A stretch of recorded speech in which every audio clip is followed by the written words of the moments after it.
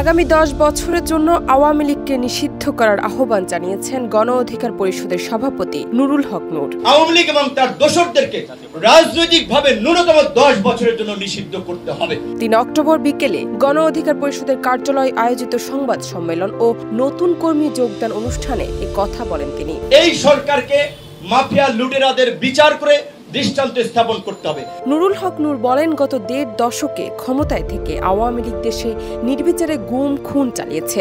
এর নেপথ্য ছিলেন ফ্যাসিস্ট শেখ হাসিনা। এই দলের প্রতি মানুষের এক রাশ ঘৃণা তৈরি হয়েছে। তাই চিরতরে নিষিদ্ধ বা অন্তত দশ বছরের জন্য এই দলকে নিষিদ্ধ করতে হবে। জনগণের মাঝে আওয়ামী লীগকে নিষিদ্ধ করা নিয়ে জরিপ করারও আহ্বান জানান তিনি।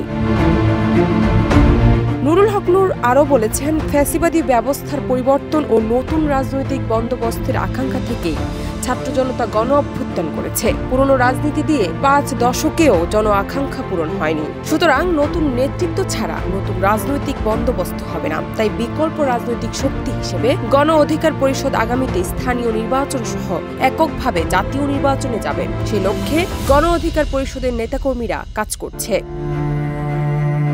ডেস্ক রিপোর্ট দেশ রূপান্তর